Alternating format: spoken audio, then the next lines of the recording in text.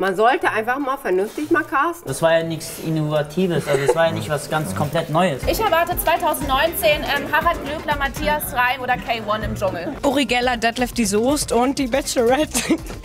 Ich wünsche mir für Dschungelcamp 2000, was haben wir jetzt, 18? Ja, 19. Hälfte Promis, Hälfte normale Leute, einfach mal und die Ah, Bam. Also ich bin eigentlich recht zufrieden, ich bin, aber ich kann mir ich würde mir wünschen, dass die Prüfung ein bisschen aufregender sind und ein bisschen Action. es war schon ein bisschen Fahrt. Nun kann man darüber streiten, liegt es an den Kandidaten oder liegt es daran, dass sich das Format totgelaufen hat. Irgendwann hat ja so eine Sendung den Zenit überschritten und möglicherweise ist das jetzt so. No way, Alter, da hört's bei mir auf. Bist du dabei? Das ist prima.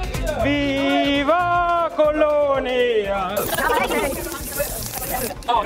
Ah, hervorragend! Tschüss. Ingo.